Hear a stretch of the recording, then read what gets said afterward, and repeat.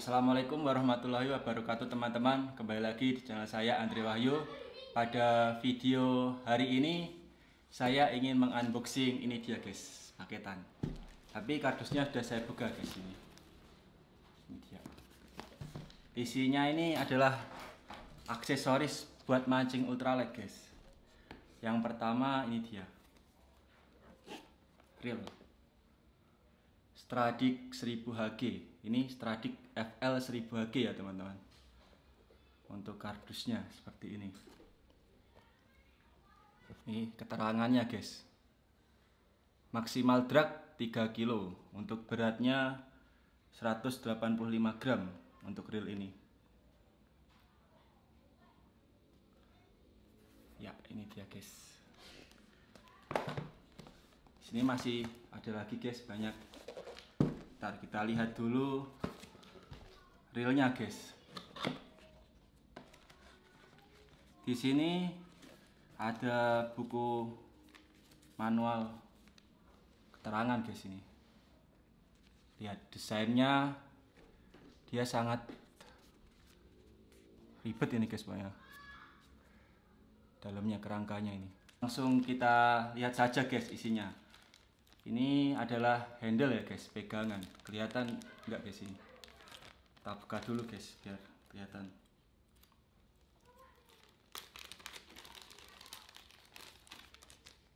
Ini dia untuk handlenya ya teman-teman seperti ini. Ini handle knop knop handlenya. Dia terbuat dari karet yang sangat keras Di sini ada sealnya guys, agar airnya tidak masuk ke dalam reel. Dikasih seal. Oke, langsung. Kemudian ini dia. Ini, weh, mantap jiwa guys. Ini reelnya untuk Stradic FL 1000 HG. Seperti ini teman-teman. Reelnya untuk teknologi yang terdapat pada reel ini guys ya. Karena terlalu banyak saya lihat HP dulu ya teman-teman. Harap dimaklumi. Nanti saya jelaskan secara singkat gitu guys. Saya percaya ini teman-teman banyak yang lebih tahu daripada dari saya ya teman-teman. Cuman untuk teman-teman yang masih belum tahu atau awam semoga nanti bisa bermanfaat guys.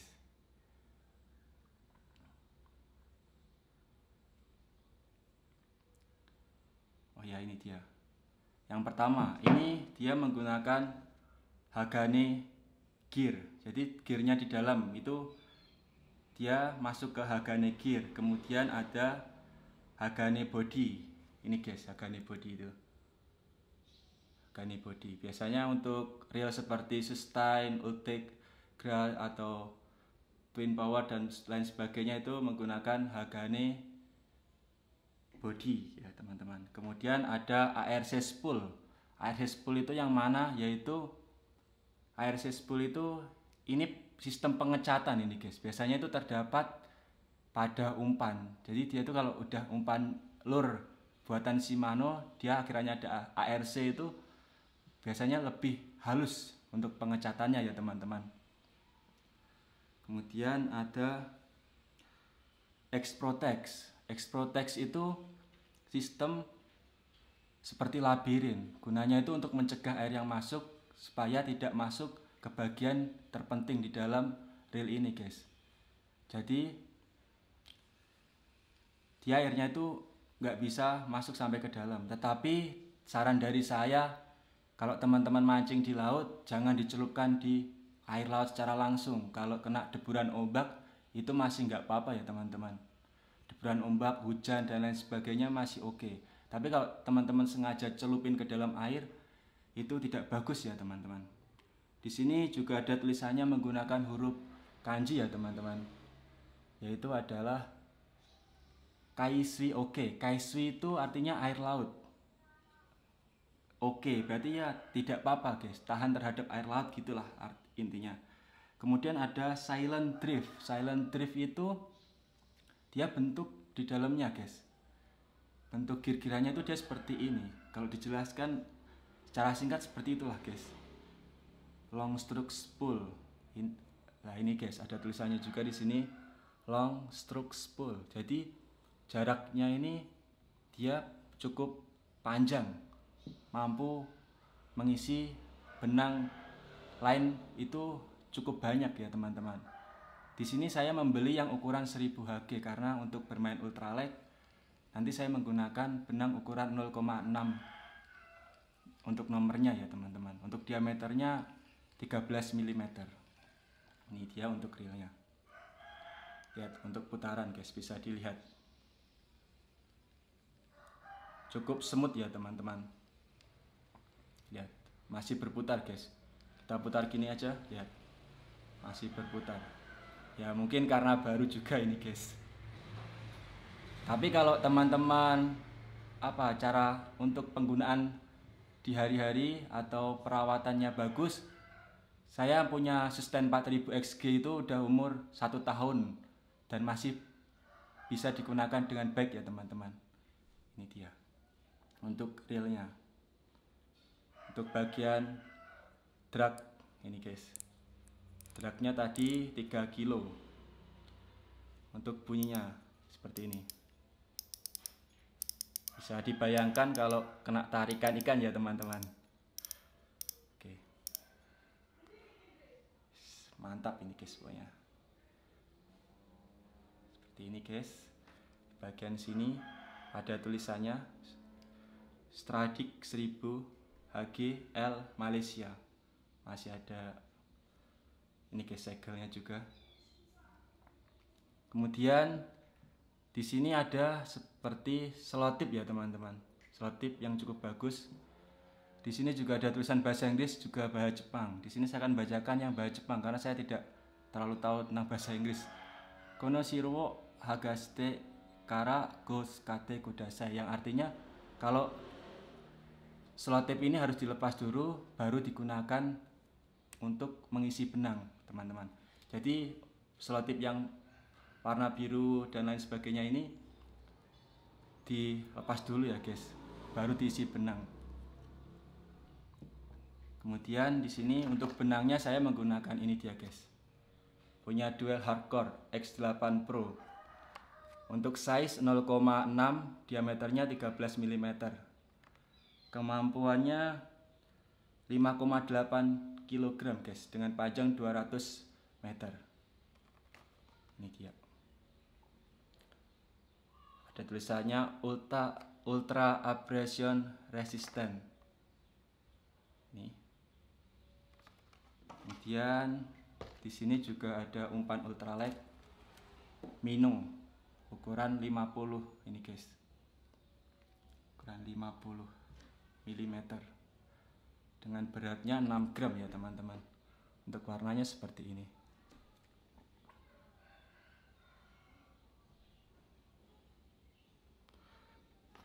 Nih kemudian warna hijau.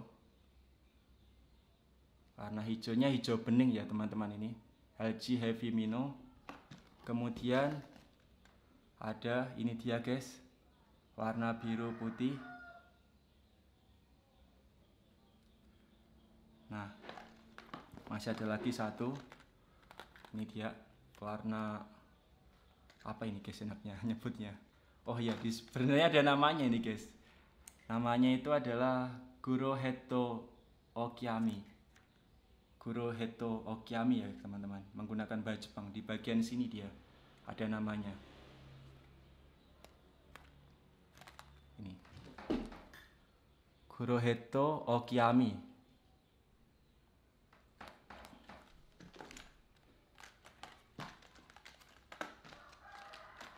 kemudian di sini ada lagi ini dia guys Meho box lure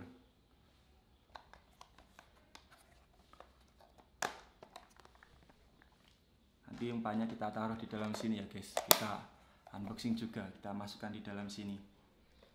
Dan masih ada lagi ini yang terakhir ya teman-teman yaitu adalah sarung reel guys. Ini adalah neoprene spinning reel cover ada tulisannya juga menggunakan huruf Jepang yaitu Neopuren Spinningu Riro Kaba. Ya artinya sama aja guys. Kayak yang bahasa Inggris. Di sini ada tulisannya menggunakan bahasa Jepang. Dia bisa dipakai waktu reel itu tertancap pada joran ataupun waktu reel itu dilepas ya guys. Jadi kita bisa menggunakannya dengan joran sekalian menggunakan cover ini cover kalau dalam bahasa Jepang ya. Untuk size nya saya menggunakan size S. Nih guys.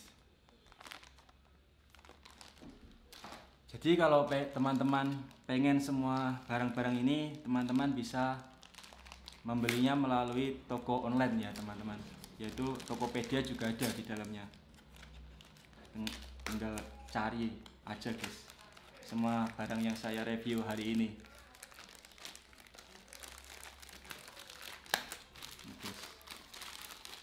untuk covernya seperti ini.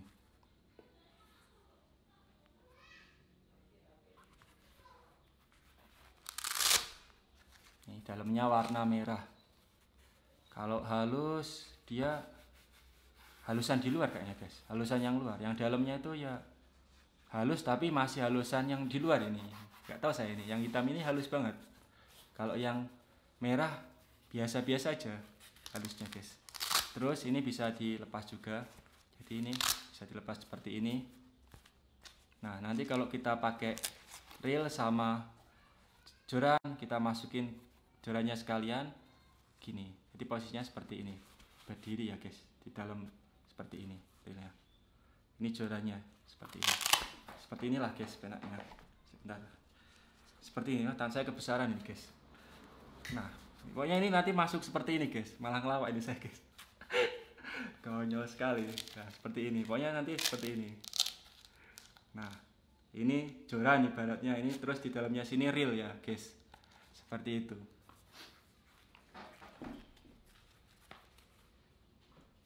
Terus kita unboxing lurnya aja guys. Kita unboxing lurnya. Biar teman-teman bisa melihat lebih jelas guys. Kalau di dalam wadah seperti ini lihatnya kan nggak enak guys. Kalian kita masukkan juga di box lure ya teman-teman.